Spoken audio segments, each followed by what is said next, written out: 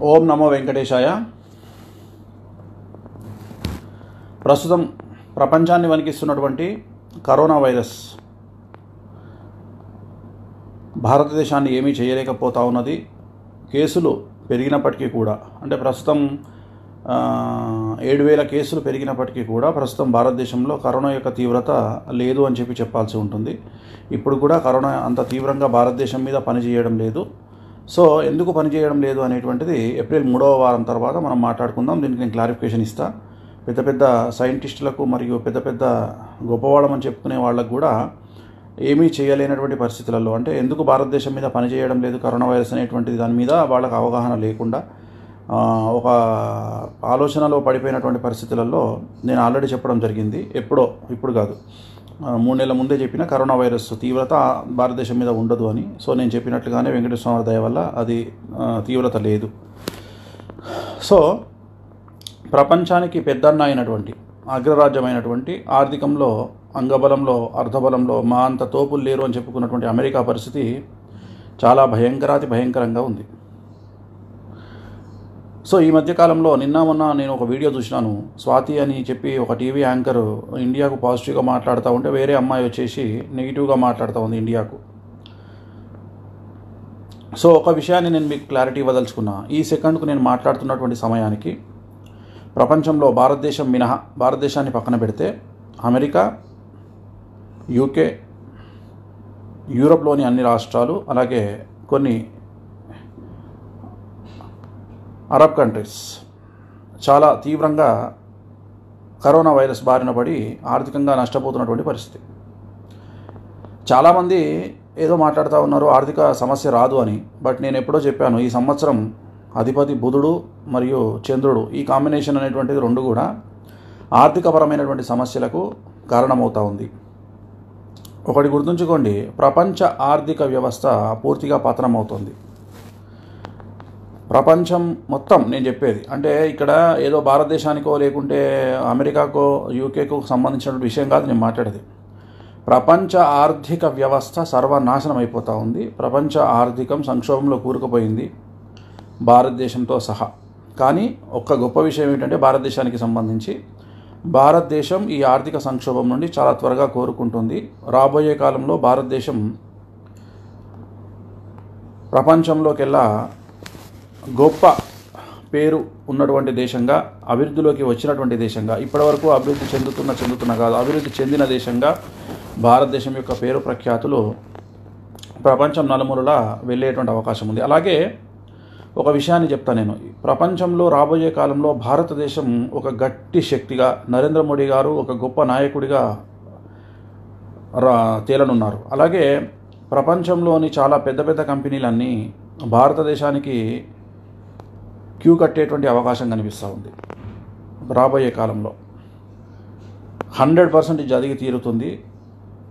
ప్రపంచంలోని పెద్ద పెద్ద కంపెనీలు చాలా పెద్ద కంపెనీలు జర్మనీ జపాన్ నార్త్ కొరియా లో ఉన్నటువంటి పెద్ద పెద్ద కంపెనీలు భారతదేశానికి తరలివచ్చేటువంటి అవకాశం ఉంది. సో భారతదేశం రాబోయేటువంటి కాలంలో అగ్రపదంగా అగ్ర రాజ్యంగా మిగిలబోతా ఉంది అని చెప్పడంలో ఎటువంటి అనుమానం అక్కర్లేదు.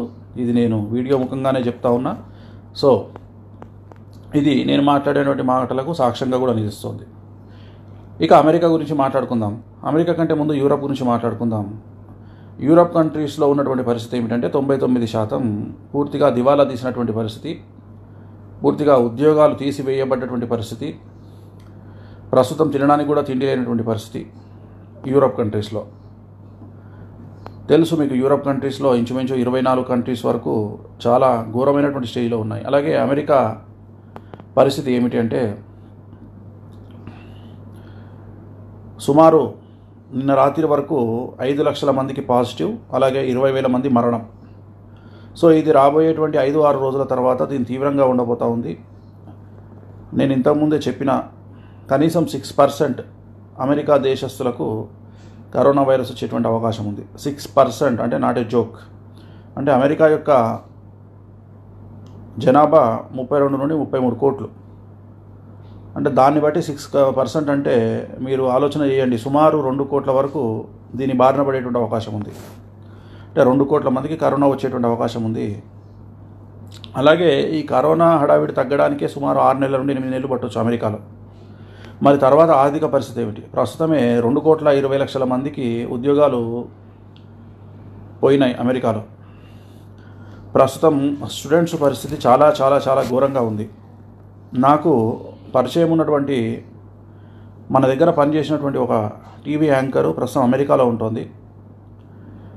తను ఒక ఆరుగురి తెలుగు విద్యార్థులకు సహాయం చేసింది ఏ విధంగా అంటే ఉండడానికి ప్లేస్ కూడా లేకపోతే ఆమె తన బాల్కనీలో అంటే వరండాలో ఒక ఆరుగురికి ప్లేస్ ఇచ్చింది ఉండడానికి ప్రస్తుతం. అంటే వాళ్ళకి ఆ పరిస్థితి అంటే ఉండడానికి కూడా పరిస్థితి. కనీసం ఉండడానికి కూడా ప్లేస్ లేదు అమెరికాలో విద్యార్థులకు. ఎందుకంటే ఉద్యోగం లేదు. సో వాళ్ళ హాస్టల్స్ ఖాళీ చేయబడ్డాయి. అలాగే ఇప్పటివరకు హెచ్ వన్ హెచ్ వన్ గొప్పగా చెప్పినటువంటి వాళ్ళ పరిస్థితి ఏంటంటే హెచ్ వన్ ఉంది బట్ ఉద్యోగాలు పోతూ ఉన్నాయి. అంటే హెచ్ వన్ వీసా ఉంది కానీ ఉద్యోగాలు లేవు. ఉద్యోగం లేకపోతే హెచ్ వన్ వీసాదారులు ఎన్ని రోజులు ఉండగలుగుతారు? మహా అంటే రెండు నెలలు ఉండగలుగుతారు అమెరికాలో. తర్వాత వాళ్ళు ఇల్లీగల్ అవుతారు. ఉండడానికి వీల్లేదు సో ఇది వాళ్ళ పరిస్థితి. అలాగే పెద్ద పెద్ద ఐటీ జాబ్స్ చేసేవాళ్ళు. వాళ్ళ ఉద్యోగాలు పోయినాయి చాలామందివి. ఆల్రెడీ చాలామందికి ఏం చెప్తా ఉన్నారంటే మీరు ఒక వారం రెండు వారాలు మాత్రమే పనిచేయాలి రెండు వారాలు చేయొద్దు. అంటే లీవ్తో రెండు వారాలు మీకు జీతం ఇవ్వమని చెప్తా ఉన్నారు. కొంతమందిని ఏమో బెంచ్ మీద పెడతా ఉన్నారు. కొంతమంది ఏమో ఏదో స్లిప్ అంటారంట. ఆ స్లిప్ ఇస్తూ ఉన్నారు. సో ఎట్లా తీసుకున్నా చాలామందికి అమెరికాలో మన భారతీయులు చాలామంది ఆర్థికపరమైనటువంటి ఇబ్బందులు పడుతూ ఉన్నారు. సో నేను విద్యార్థులు కానీ ఉద్యోగం లేని వారికి కానీ ఇతరత్ర వారికి నేను చెప్పదలుచుకున్న పాయింట్ ఒకటే. ఒకవేళ అమెరికాలో ఉండేటువంటి భారతీయులు ఎవరైనా మీకు సంతానం ఉండి మీ పిల్లలు అక్కడ సిటిజన్స్ అయితే అక్కడ ఉండి కష్టపడండి. కానీ మీకు సంతానం లేకపోతే మీరు విద్యార్థులైనా మీకు ఉద్యోగం కోల్పోయినా ఇమ్మీడియట్గా ఇండియాకు ఫ్లైట్స్ వేయగానే వచ్చే పని చేయండి. ఎందుకంటే ఇండియాకు వచ్చేసేయండి. ఇండియాలో ఏదో విధంగా బ్రతకొచ్చు. ఇంకా మీరు ఫాల్స్ ప్రిస్టేజ్లో ఉండాల్సినటువంటి పని లేదు. అమెరికా గురించి గొప్పలు చెప్పుకునే పరిస్థితి లేదు. మీకు ఒక విషయానికి క్లారిటీ ఇస్తా ఉన్నా దయచేసి వినండి. అమెరికా గురించి గొప్పలు చెబితే సంకలు గుద్దుకునే స్టేజ్లో ఇప్పుడు ప్రజెంట్ ఇండియన్స్ లేరు. ఇండియా పరిస్థితి ఏమిటి అంటే ప్రజెంట్ అమెరికాలో ఉన్న వాళ్ళ మీద ఒక సింపతి చూపించే పరిస్థితిలోనే ఉన్నారు తప్ప మా కొడుకు అమెరికాలో ఉన్నాడు మా తమ్ముడు అమెరికాలో ఉన్నాడు మా అన్న అమెరికాలో ఉన్నాడు నా చెల్లె అమెరికాలో ఉంది అని చెప్పుకుంటే సంతోషపడే పరిస్థితుల్లో కానీ మిమ్మల్ని చూసే పరిస్థితులలో కానీ మీకు గౌరవం ఇచ్చే పరిస్థితుల్లో కానీ సగటు భారతీయుడు లేడు. అది గుర్తించండి. ఎందుకంటే రాబోయే కాలంలో అమెరికా కంటే కూడా భారతదేశం చాలా గొప్పనైనటువంటి స్థితికి చేరుకుంటుంది. అలాగే ప్రస్తుతం కరోనా వైరస్ వల్ల అన్ని దేశాలు భయపడతా ఉన్నా భారతదేశంలో ధైర్యంగా ఉండగలుగుతా ఉన్నారు ఇంట్లో ఉన్నా కానీ మన ఒక ఇన్సిడెంట్ మీకు ఆల్రెడీ అమెరికాలో వచ్చింది. ఒక ఆవిడ రెండు వారాలు మూడు వారాల నుండి ఇంట్లోనే ఉంది. అంటే సుమారు ఇరవై రోజుల నుండి ఇంట్లోనే ఉంది.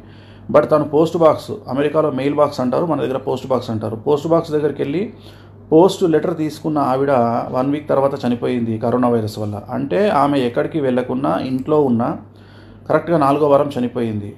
ఆమెకు ఎక్కడి నుండి వచ్చింది సంక్రమించింది కరోనా వైరస్ అంటే పోస్ట్ బాక్స్ నుండి ఆమె తీసుకున్న లెటర్ వల్ల సంక్రమించింది. సో ఇది అమెరికా పరిస్థితి. రెండవది అమెరికాలో ఎవరైనా ఫోన్ చేసి కరోనా వైరస్ వచ్చింది అని చెబితే హాస్పిటల్కి మీకు అరవై సంవత్సరాల లోపు ఉన్న వాళ్ళైతే మాకు హాస్పిటల్కి రావద్దు. అరవై దాటితేనే రండి. లేదా మీకు కిడ్నీ ప్రాబ్లం కానీ ఇంకేదైనా ప్రాబ్లం ఉంటే రండి. లేదంటే రాకండి అని డైరెక్ట్ గవర్నమెంటే చేతులు ఎత్తేసినటువంటి పరిస్థితి. ఇక ట్రంప్ గురించి మాట్లాడుకుంటే మనకు తెలుసు మూర్ఖాది మూర్ఖుడు ప్రస్తుతం అసలు ట్రంప్ అమెరికాను పట్టించుకునేటువంటి పరిస్థితి లేదు. ఎందుకంటే తనకు తెలుసు తన చేతిలో నుండి సబ్జెక్ట్ వెళ్ళిపోయింది అని.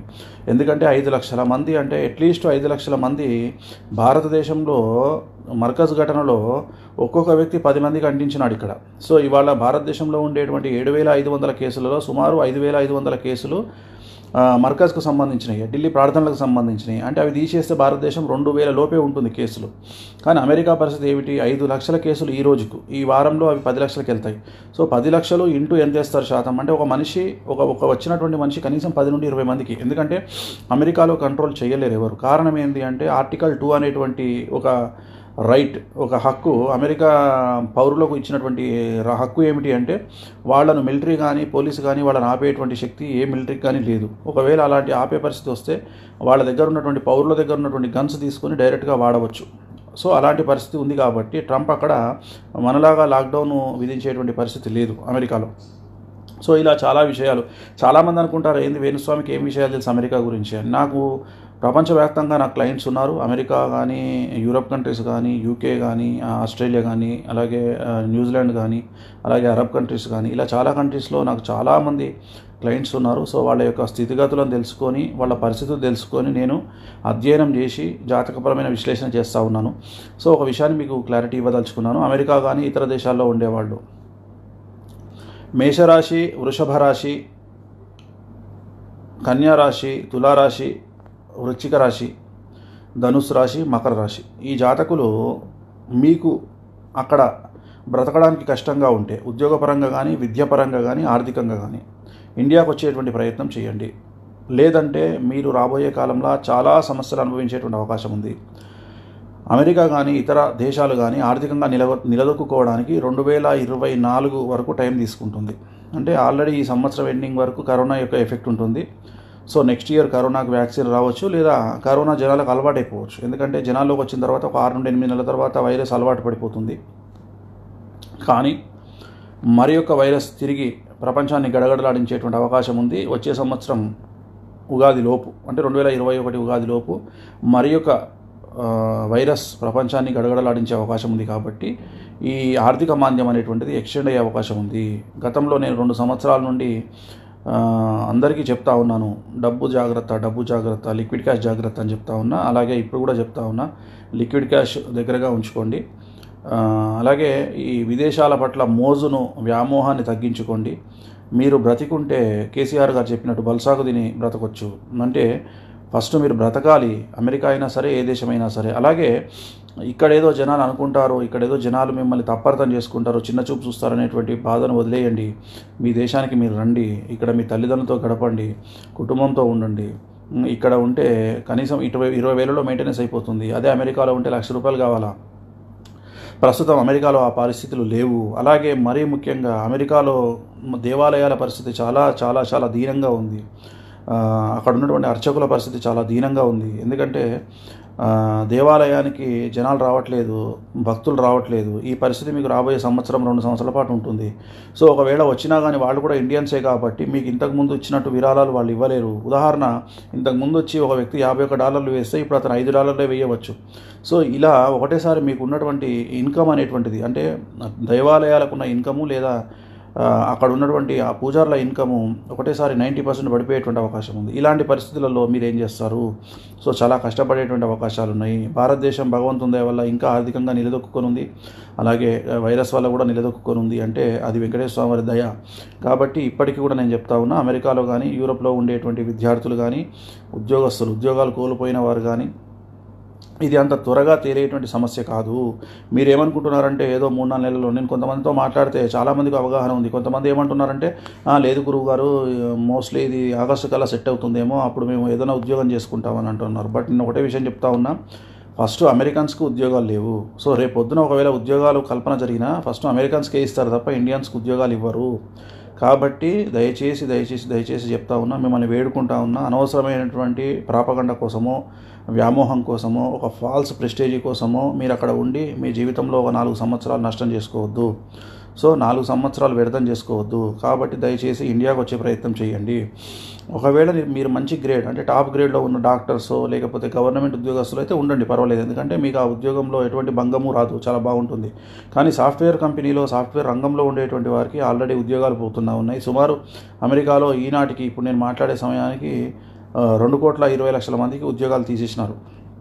దాంట్లో అమెరికన్స్ ఉన్నారు ఇండియన్స్ ఉన్నారు. అలాగే కోటి మంది నిరుద్యోగ భృతి కోసం అంటే అన్ఎంప్లాయ్మెంట్ స్కీమ్ కింద అమెరికాకు అప్లై చేసుకు ఉంటా ఉన్నారు.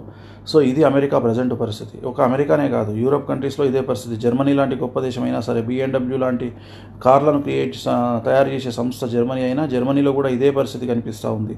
అలాగే Netherlands Amsterdam anywhere UK so ఇలా ప్రతి దగ్గర ఇదే పరిస్థితి కనిపిస్తూ ఉంది. కాబట్టి దయచేసి ఒకసారి మీకు మీరు కూర్చొని ఆలోచించుకోండి. ఇండియా వెళ్ళడం ఉత్తమమా? లేదా అక్కడ ఉండడం ఉత్తమమా చెప్పండి. యా కిషోర్ మెడిపూడి గారు అదే చెప్తా ఉన్నా నేను. ఖచ్చితంగా భారతదేశం గొప్ప స్టేజ్కి వెళ్తుంది. ప్రపంచాన్ని శాసించే స్థాయికి వెళ్తుంది. ఇవాళ మనం మన మన లారిగో మాత్రలు అంటే మన మలేరియా మాత్రలు ప్రపంచాన్ని శాసిస్తూ ఉన్నాయి. భారతదేశం నుండి మనం పంపిస్తే కానీ ఇరవై ఐదు సం ఇరవై ఐదు దేశాలు ఆ మాత్రలు వాడుకునే పరిస్థితులు లేదు మనల్ని బ్రతిమలాడుతూ ఉన్నారు. సో ప్ర- మనం అనుకుంటాం ఎప్పుడు ఒకటిదే ఉండదు టైము. సో టైం అనేది స్టార్ట్ అయితే ఎలాంటి వాడైనా సరే గొప్ప స్టేజ్కి వచ్చే అవకాశం ఉంది. భారతదేశంకు సమయం స్టార్ట్ అయింది. రెండు వేల ఇరవై నుండి భారతదేశం యొక్క కీర్తి పతాక ప్రపంచవ్యాప్తంగా జయగీతం ఎగ ఎగరవేస్తుంది. అలాగే ఆర్థికంగా ప్రపంచంలో భారతదేశం నెంబర్ వన్ పొజిషన్కి వస్తుంది. ఇది నమ్మని వాళ్ళు మూర్ఖులు నమ్మితే నమ్మండి లేకుంటే లేదు. సో విమర్శకులు ఎప్పుడూ ఉంటారు ట్రోల్ చేసే వాళ్ళు ఎప్పుడూ ఉంటారు. సో నేను చెప్పాలనుకున్నది నేను చెప్తాను. నన్ను నమ్మే బాగుపడతారు బాగుపడతారనేటువంటి ఉద్దేశం నాకు. అంతే తప్ప నన్ను విమర్శించేవారు నా కాలి కింద మట్టితో సమానం. నేను వాళ్ళని పట్టించుకోను. సో నాకు నన్ను నమ్మే వాళ్ళ కోసమే నేను చెప్పేది తప్ప నన్ను నమ్మని వాళ్ళ కోసం నేను చెప్పను. అలాగే దీంట్లో నా వ్యక్తిగతమైనటువంటి అభిప్రాయం ఏదో ఉంది అని అనుకోవాల్సిన పని లేదు. ఎందుకంటే నాకేం విదేశాల పట్ల మోజు లేదు. అలాగే వాటి మీద వ్యామోహం కానీ కోపం కానీ లేదు. అక్కడ ఉండి బాధపడుతున్నటువంటి వాళ్ళ కోసం నేను ఇవన్నీ చెప్పాలనుకుంటా ఉన్నా. దయచేసి నా మాట వినండి.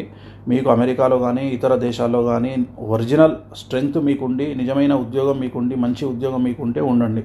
లేదంటే త్వరగా భారతదేశానికి తిరిగి రండి. ఫ్లైట్లు స్టార్ట్ కాగానే వచ్చి ఇక్కడ ఏదో ఒక ఉద్యోగం చేసుకుంటూ బ్రతకొచ్చు. లేదా ఏదో ఒక వ్యాపారం చేసుకుంటూ బ్రతకొచ్చు. కాబట్టి రాబోయే కాలంలో భారతదేశం అనేటువంటిది ప్రపంచాన్ని శాసిస్తుంది అని చెప్పడంలో ఎటువంటి అనుమానం అక్కర్లేదు. మోడీ గారు ప్రపంచ నాయకత్వం వహిస్తారని చెప్పడంలో ఎటువంటి అనుమానం అక్కర్లేదు. ఓం నమో వెంకటేశాయ. మన టాప్ తెలుగు టీవీ షేర్ చాట్లో అలాగే డైలీ హండ్ న్యూస్ హ్యాప్స్లో కూడా ఉంది. ఫాలో అవ్వండి. ఇంతకీ మా ఛానల్ సబ్స్క్రైబ్ చేసుకుంటారుగా? గంట కొట్టడం మాత్రం మర్చిపోవద్దు. Hello guys, this is Vinay Kuya. Hi, Nirumi Sonakshi Verma. Hi, this is Avantika. This is Deshtar Gopal. Please uh, like, share and subscribe to Please subscribe it. Please subscribe to. Please subscribe to. Like, share and subscribe to. Top Telugu TV. Top Telugu TV. Top Telugu TV. Top Telugu TV. Top Telugu TV. Top Telugu TV.